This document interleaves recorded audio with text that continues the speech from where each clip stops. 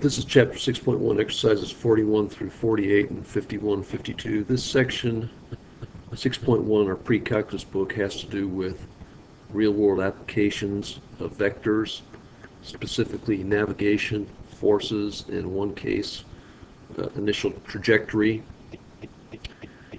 Problem 41, navigation. An airplane is flying on a bearing of 335 degrees at 530 miles per hour, find the component form of the velocity of the airplane.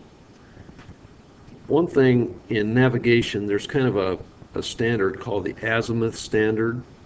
And the azimuth standard for navigation has to do with zero degrees being true north. And then the angles measured in a clockwise manner back to 360 degrees and consequently to the east would be a 90 degree bearing due south would be a 180 degree bearing and due west would be a 270 degree bearing and so on. And so that's the standard that that our book and other books use for that. But what I want to do instead of that is really take our prior standard with the standard position angles and I will show you what that is. What that is, instead of zero degrees being at the top and rotating clockwise, we're going to take a standard position angle here, zero degrees at the right, and rotate rather counterclockwise such that 90 degrees is going to be up here at the top, 180 degrees, or pi radians will be here at the left side. And at the bottom will be 270 degrees. And also, our zero degrees will will uh, go ahead and stipulate to be east and 180 degrees west and then 90 degrees north and then 270 degrees will be the south and this is just going to allow for better consistency to what we've been working on so far. And so what we have here is a airplane flying at bearing of 335 degrees. So if we start right here at the center and 335 degrees according to the way I've drawn it here is going to be kind of in this in this direction. So this will be uh, 335 degrees and it's going to be the vector magnitude is going to be 530 miles per hour. And the things you have to remember for this are really very few but you have to remember them well and that is yeah, the little song. Our cosine is x and our sine is y So really what we need to do for this is our component form is going to be just like this. We take R, which is our magnitude, 530, times cosine of 335 degrees, comma, 530 times sine 335 degrees. So really that's it. And that's going to be an exact uh, component form. But then in our calculator, if we go to our calculator, make sure that we're in degrees mode, which we are here in the upper right. See, we're in degrees. Uh, we go to 530 times cosine 335 degrees. And for that we get to 100th place 480.34 so we put 480.34 comma and then we go get our 530 times sine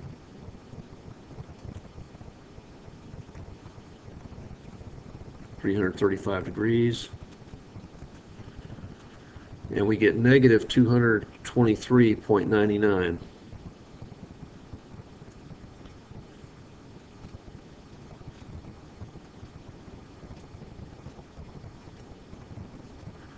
And the units, well, I'll just put outside here, are going to be miles per hour.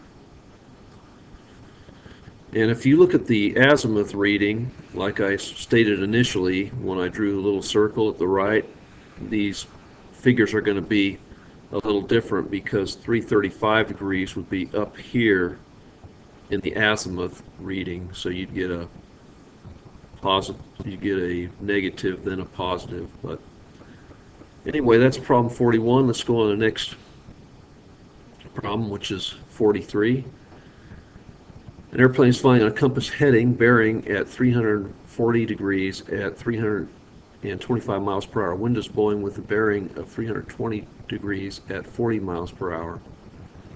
So what we're looking like here is we draw the big circle here.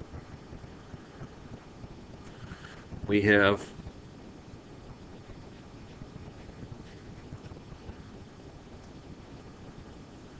a bearing of 340 degrees at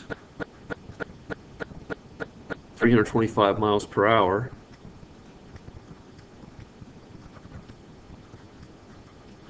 And this is going to be 340 degrees.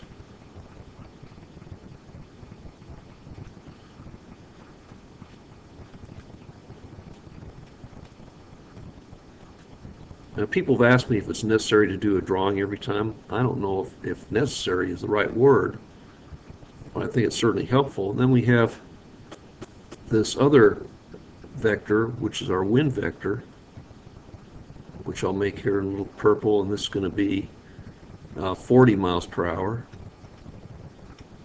I'll just put 40. And that's going to be Put here. That's going to be 320.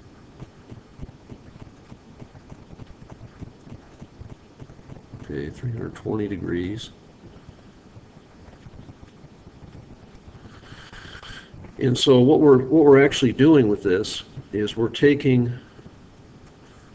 this wind direction vector here that I'm moving and and we put it tip to tail.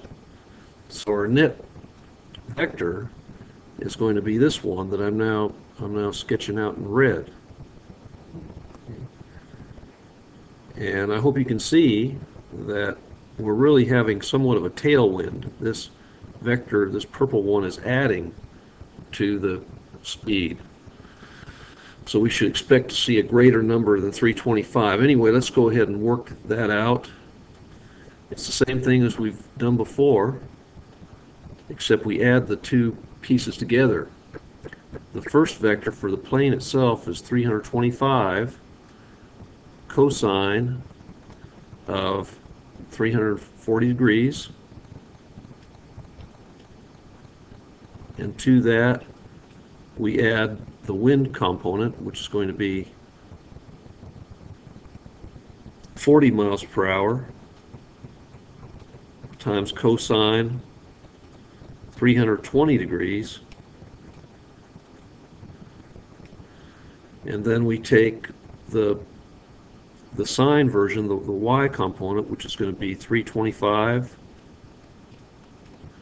sine 340 degrees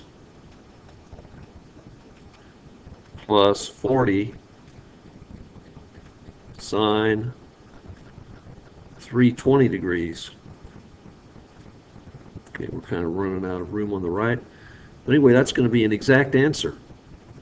And we go ahead and put this in our calculator, which I'll now do. We'll put 325 times cosine of 340 degrees.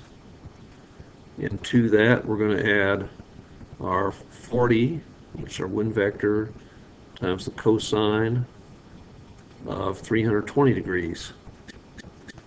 And for that, we get 336.04. So we go and put in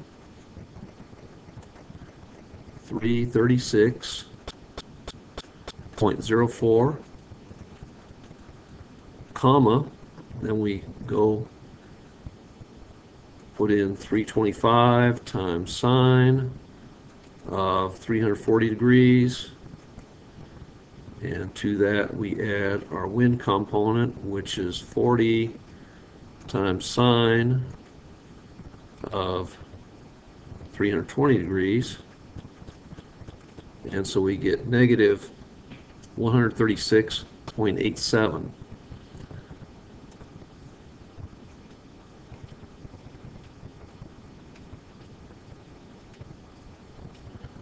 And this would be in miles per hour.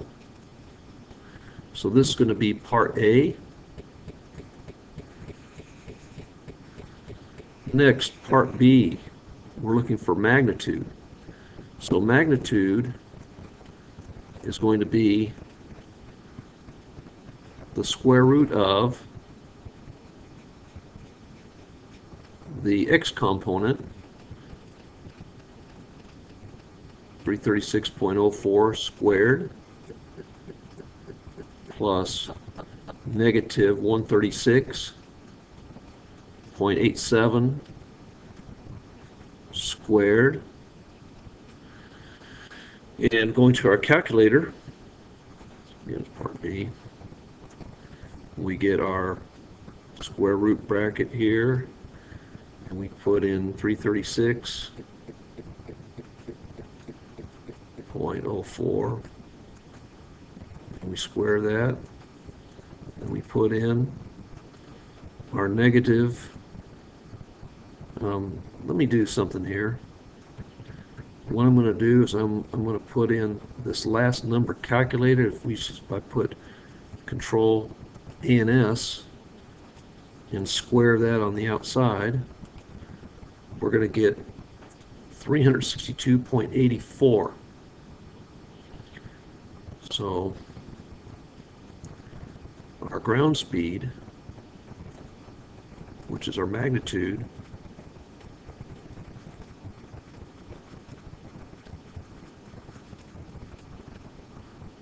again, 362.84 miles per hour.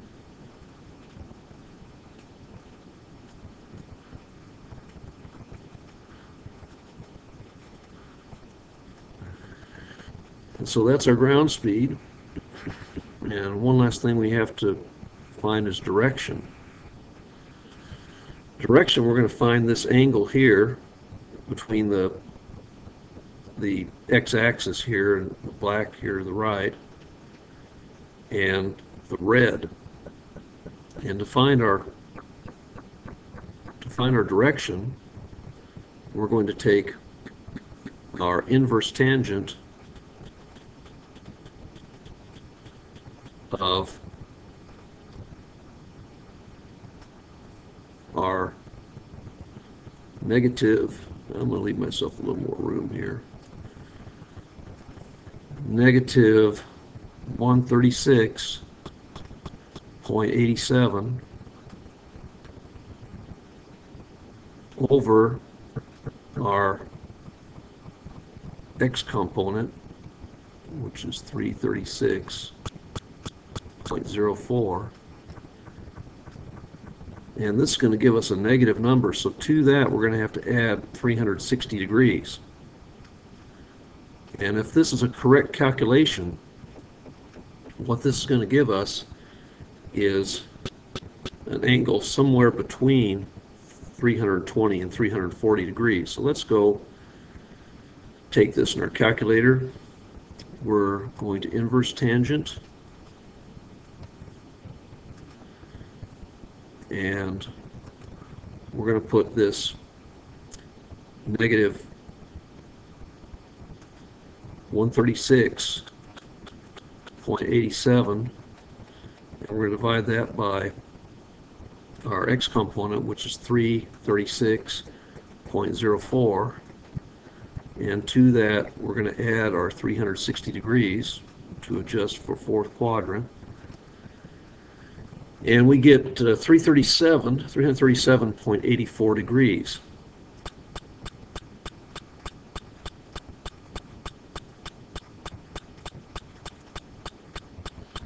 So that's going to be our direction. I hope you can see from the sketch that that would be approximately, that would be this angle here that I'm now putting in red. That would be this angle right here, 337.84 degrees. Next on the problem we look at is 45 shooting a basketball. Basketball is shot at a 70 degree angle from the horizontal at an initial speed of 10 meters per second.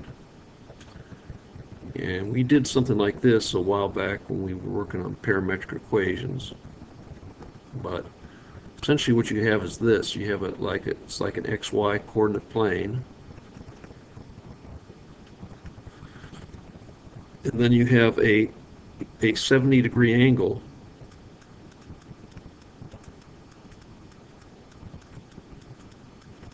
Okay, this is going to be 70 degrees. And then you have a basketball shot like this. It'll come initially like this, and then we'll, we'll uh, go in this direction, parabolic. So we're looking at the initial velocity. So the initial velocity is going to be simply this we take our magnitude, which is 10 meters per second, times the cosine of 70 degrees, comma, 10 sine 70 degrees. That's going to be part A. And then to get our exact, uh, our decimalized answer, we're going to put in 10 times cosine of 70 degrees and we get 3.42 to the hundredth place. We'll just stay hundredth place here.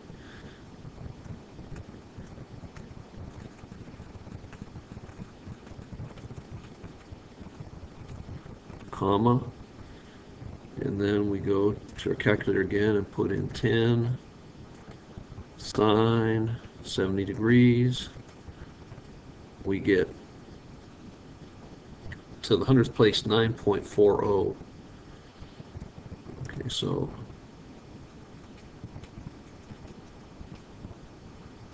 and the units for this are going to be meters per second. And then if we wanted to, we could make a parametric equation of these things. Um, and anyway, that's part A. Part B, writing to learn give an interpretation of the horizontal and vertical components of velocity. Well, I'll just say this. The initial, and I'll just abbreviate I and IT, uh, horizontal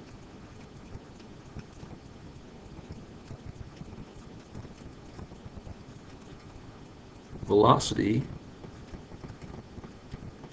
you can say horizontal speed or speed of the right is 3.42 meters per second. And then we say the vertical, the initial NIT vertical, or instead of vertical, let me just say, I'll just say upward.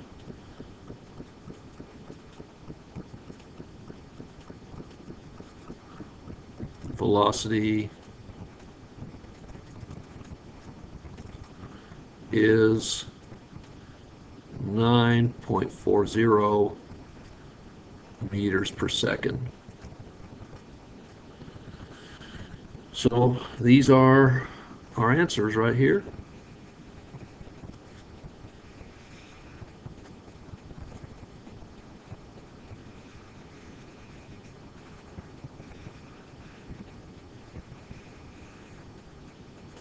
Okay, next on the problem, 47, moving heavy object.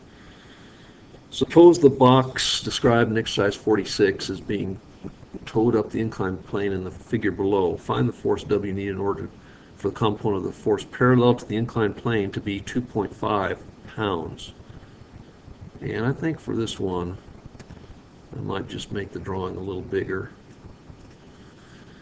Okay, what we're doing is we're taking this force right here that I'm drawing in blue, the vector for this is going to be 2.5 pounds. And what we need to do is find the difference in angle between this W here.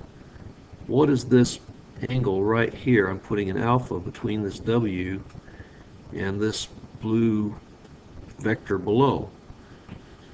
Well, basically, what it's going to be, it's going to be 33 degrees minus the incline of the plane, which is 15 degrees, which will be 18 degrees. So that's what this angle right here is, 18 degrees. So that's going to be the difference or distinction in that W. So for the force in the direction of the blue arrow to be 2.5 pounds, 2.5 pounds, let me write over here, 2.5 pounds is going to be half, it's going to equal W times the cosine of 18 degrees. And then to solve for W, if we divide both sides of this equation by cosine of 18 degrees,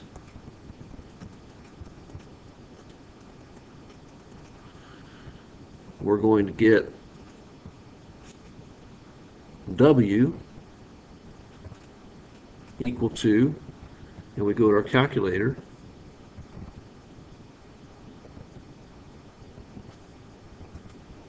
take 2.5 divided by cosine 18 degrees.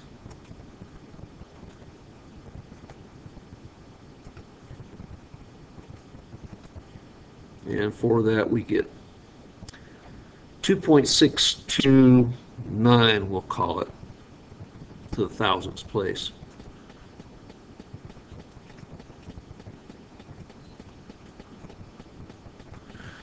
And so for to give our answer in component form, that is going to be, uh, going to the left here, we'll get 2.629 cosine of 33 degrees, that's what this angle is here, comma 2.629 sine 33 degrees. And we go to our calculator.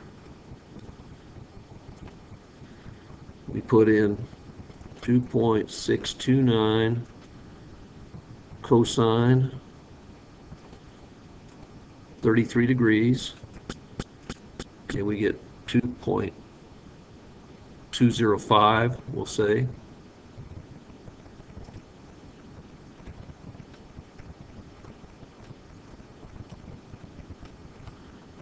And for the y component, we put in 2.629 sine 33 degrees, 1.432.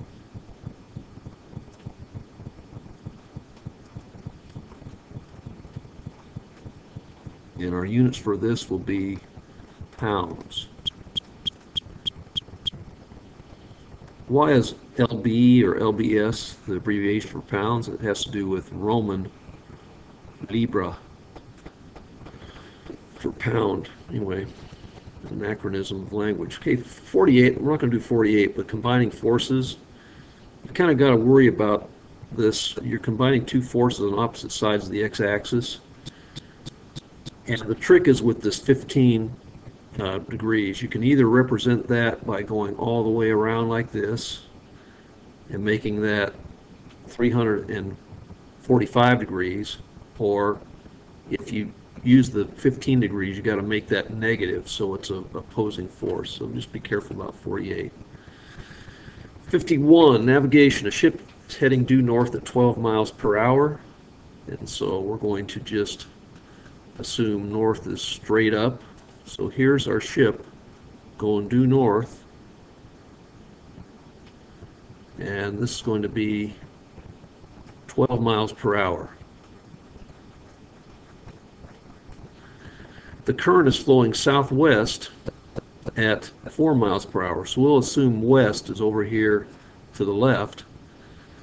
And so what we have is southwest is going to be exactly halfway between west and south. So this angle here is going to be 45 degrees for that to be southwest. And what we're doing is we're taking this, let me see if I can get that blue one. We're taking this blue one and moving it right up here. And so what we're really looking for is this thing right here that I'm now sketching roughly in red. Okay, We're looking for the magnitude and direction of that red thing that I am now sketching. So what we have for that is a component vector. And what that is going to be is, now we're going to use the whole standard position thing again, where 0 degrees is to the right, 90 degrees is up top, and to the left is 180 degrees, and to the bottom here is, is 270 degrees. And so this halfway in between I'm going to draw it originally the blue vector I drew originally, is going to be halfway between 180 and 270, or 225 degrees. So what we have is 12 cosine of 90 degrees. And that's going to be this straight up 12 miles per hour plus 4 cosine 225 degrees. And then we have for the y component 12 sine uh, 90 degrees plus 4 cosine, no 4 sine, is it 4 cosine? Plus 4 sine 225 degrees. So that's it right there. And 12 co cosine 90 degrees is 0, so that's going to be 0. 12 sine of 90 degrees, well, sine of 90 degrees is 1. So we can go to our calculator and put in 12 cosine of 90 degrees, which is 0, plus 4 cosine 225 degrees. So we get negative 2.828.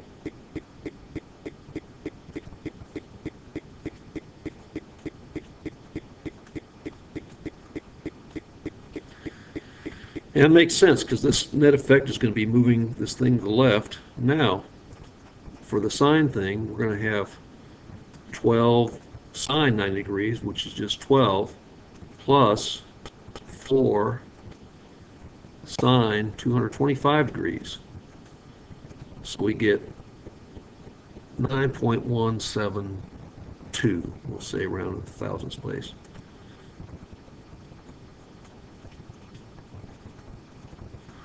And this is going to be in miles per hour. And now it says find the actual bearing and speed. Well, speed is going to be magnitude. Magnitude, which is going to be equal to this thing that we've done before. We're going to take this negative 2.828 squared plus 9.172 squared So we go to our calculator again.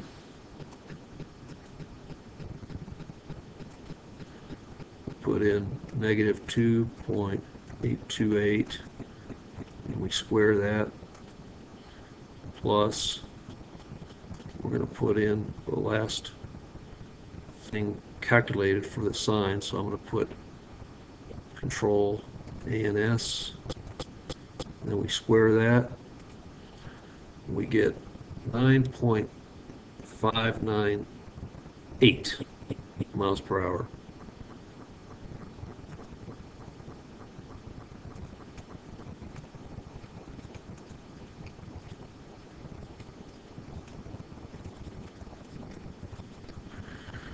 Okay, so that's going to be speed. And again, we're talking about,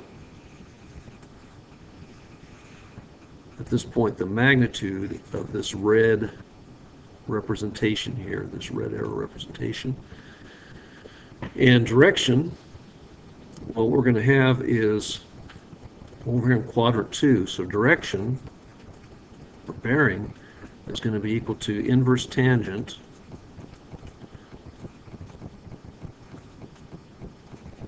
we're going to have the change in y, or the, yeah, 9.172 over negative 2.828. And to that, we're going to have to add 180 degrees to get a standard position for that. So going to our calculator, we go to our inverse tangent of uh, 9.172 divided by negative 2.828 and to that we're going to add 180 degrees. So we get 107.136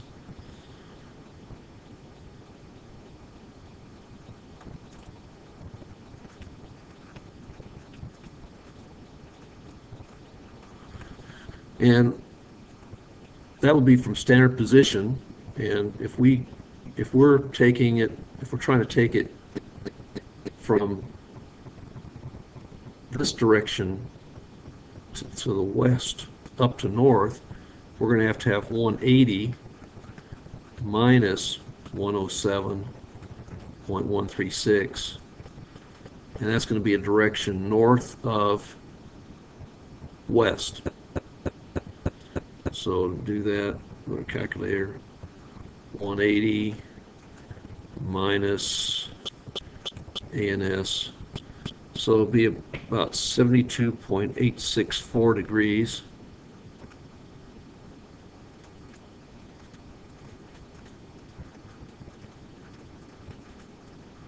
It'll be north of west.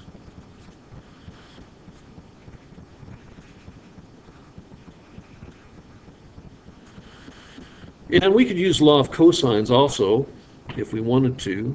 This, um, this thing here would be a, a difference of, I think, that'd be 45. Well, we, we could work it out, and you'd have, this would be our angle 45 degrees here. This would be 12, this would be 4. So to work that out, we would say uh, our speed squared would be equal to 4 squared plus 12 squared minus 2 times 4 times 12 times cosine 45 degrees. And we'll just see what that looks like here. You're going to see the same, you see this angle, I mean this this distance right here, and you're going to see that 9.598. So we go to menu 3.1, and we're going to put in speed squared. We'll say speed squared equals 4 squared plus 12 squared minus 2 times 4 times 12 times cosine of 45 degrees. And we'll put in comma S. And we should get it right here. Yeah see? 9.598 right we had earlier. Then we could use law of we could use law of sines to find this angle over here. So application of law of cosines as well. Anyway this has been our exercise set. 52 is kind of similar to 51 good luck on all these even number problems. And as always thanks for viewing